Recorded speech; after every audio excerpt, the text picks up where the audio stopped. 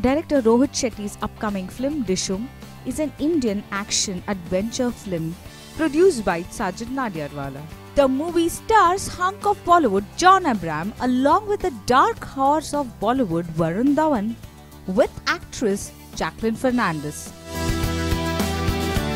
The movie has already created a lot of buzz with the film's logo.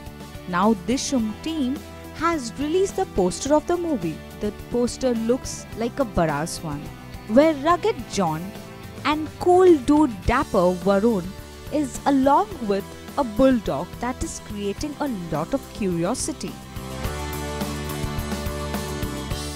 Varun Dhawan and John both shared the poster with the caption This is how Kabir and Junaid walk into work on Monday morning.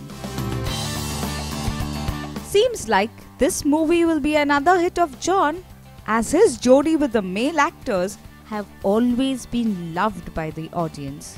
From Entertainment Desk, Bollywood Nazar, Mumbai.